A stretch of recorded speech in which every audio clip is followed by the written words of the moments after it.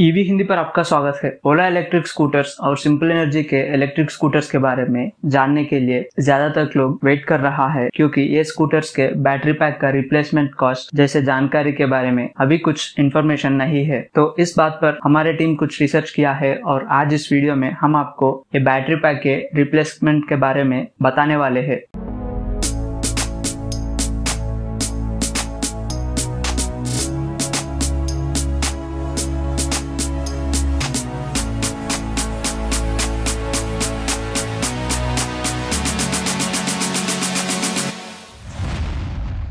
तो ये replacement cost के बारे में जानने से पहले आपको ये बैटरी पैक्स का मार्केट में कीमत के बारे में जानना ज़रूरी है, क्योंकि ये लिथियम आयन बैटरीज में उसके क्वालिटी के हिसाब से अलग अलग कैटेगरी बनाया गया है। तो सबसे पहले होता है cheap lithium ion battery packs ये लिथियम आयन बैटरी पैक्स पर एक किलो वाट आवर के लिए लगभग टेन थाउज़ेंड रुपीज़ तक प्राइसिंग हो सकता है। और अगला होता है मीडियम ग्रेड ये मीडियम ग्रेड के लिथियम आयन बैटरी पैक्स पर एक किलो वाट आवर के लिए थर्टीन थाउज़ेंड से फिफ्टीन थाउज़ेंड रुपीज़ तक हो सकता है। इससे नेक्स्ट लेवल होता है good quality lithium ion battery packs ये बैटरी पैक्स पर आपको एक किलो वाट आवर के लिए एटीन थाउज़ेंड रुपीज़ से ट्वेंटी थाउज़ेंड रुपीज़ तक देना पड़ता है और सबसे अच्छा क्वालिटी है द बेस्ट क्वालिटी जो ज़्यादा तक इलेक्ट्रिक व्हीकल्स में यूज़ किया जा रहा है। और ये बैटरी पैक एक किलो वाट आवर के लिए 22 से 25,000 थाउज़ेंड रुपीज़ तक हो सकता है। इसका मतलब जो भी ग्रेट क्वालिटी का लिथियम बैटरी पैक प्रिफर किया तो उसको बैटरी पैक बेटर क्वालिटी और ज़्यादा तक लाइफ साइकिल्स हो सकता है।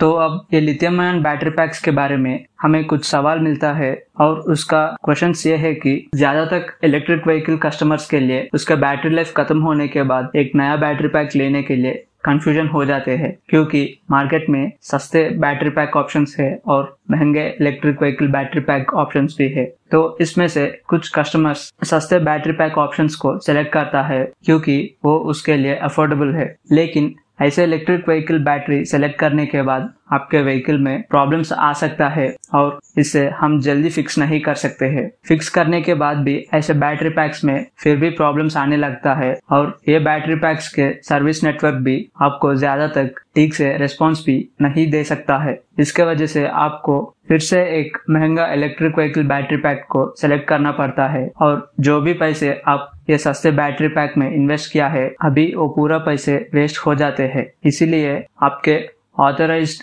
डीलर जो भी बैटरी प्रेफर करता है, आप ज़्यादा तक उसी बैटरी को लेने का कोशिश कीजिए।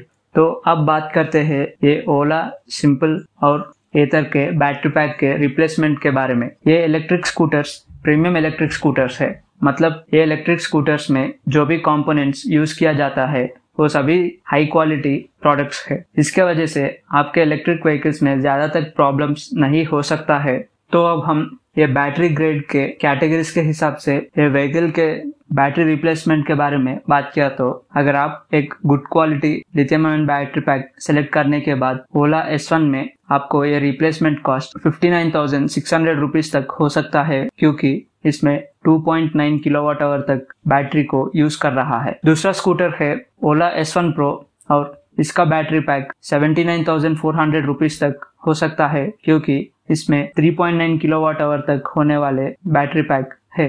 तो अब बात करते हैं सिंपल एनर्जी वन के बैटरी पैक रिप्लेसमेंट के बारे में और इसको रिप्लेसमेंट करने के लिए नाइन्टी सिक्स थाउज़ेंड रुपीज़ तक हो सकता है क्योंकि इसका बैटरी पैक 4.8 किलोवाट आवर का है। लेकिन ये तो सभी गुड ग्रेड के बैटरी पैक्स है। तो अब हम एतर के बैटरी पैक रिप्लेसमेंट के बारे में बात करेंगे जो ऑलरेडी अवेलेबल है। अभी एथर 450X के रिप्लेसमेंट कॉस्ट 66,971 रुपीस है। तो इसका मतलब एथर सबसे अच्छा बैटरी पैक को यूज़ कर रहा है जिसका सेल्स हाई क्वालिटी सेल्स है। तो ये ओला और सिंपल भी एथर को कंपटीशन देने वाले हैं। इसका मतलब ये भी हाई क्वालिटी सेल्स को ही प्रिफर करता है। अगर एथर के जैसा ही हाई क्वालिटी सेल्स को ये ओला और सिंपल एनर्जी बैटरी पैक्स में यूज़ किया तो ये एस वन में सिक्सटी नाइन थाउज़ेंड रुपीज़ तक रिप्लेसमेंट कॉस्ट होता है।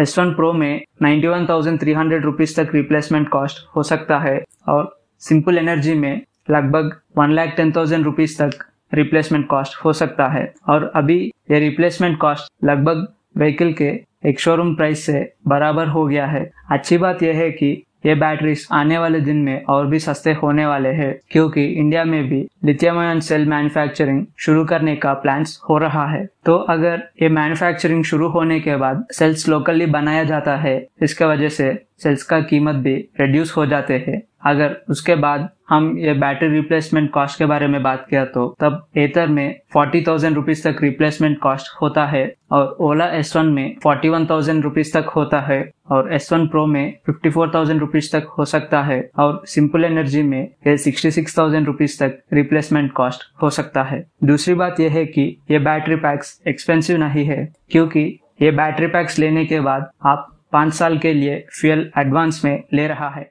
और ये high end electric vehicle battery packs को सेलेक्ट करने के बाद आपके इलेक्ट्रिसिटी बिल के अलावा आपको ज़्यादा तक एक्सपेंसेस नहीं हो सकता है, क्योंकि ये बैटरी पैक्स में हाई क्वालिटी बीएमएस भी यूज़ किया जाता है और ये बैटरी मैनेजमेंट सिस्टम ये लिथियम आयन सेल्स का हेल्थ को प्रोटेक्ट करता है, जिसके वजह से बैटरी लाइफ में कुछ कमी नहीं होता है। और अच्छी बात यह है कि अच्छा बैटरी लाइफ से आप पैसे भी सेव कर सकते हैं। अगर ये लिथियम आयन बैटरीज के बारे में और रिप्लेसमेंट के बारे में कुछ सवाल है तो कमेंट पर ज़रूर मेंशन कीजिए। और इलेक्ट्रिक व्हीकल्स के बारे में ऐसे जानकारी के लिए हमारे ईवी हिंदी चैनल को लाइक शेयर और सब्सक्राइब कीजिए। Go green go electric